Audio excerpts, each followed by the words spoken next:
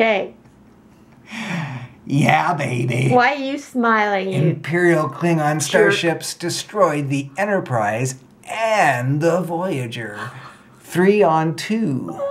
Now, I gotta tell you though, putting Janeway on a planet and making that ship revert to like a one captain doesn't doesn't really help. And then I had some of flight problems. You know, kind of hitting the auxiliary power problem over and over again. That doesn't help either. And I kept running into you.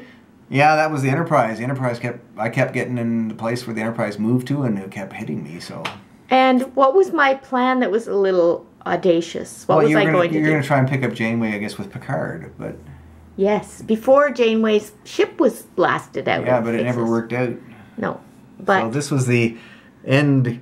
This guy's cloaked, and he fired with a target lock, and I had to roll these twice to get these numbers here, these three, and then Joe rolled that, which is nothing. And there was only two hull left, and I took three damage to the hull. So that's it. Enterprise grinded to a halt. all I did was knock out this one stupid ship. Oh, that's yours. That's the one you knocked out. oh! All I did was knock out one stupid ship. But the highest ranking captain I had, so. Stupid, Janeway is stranded on the planet.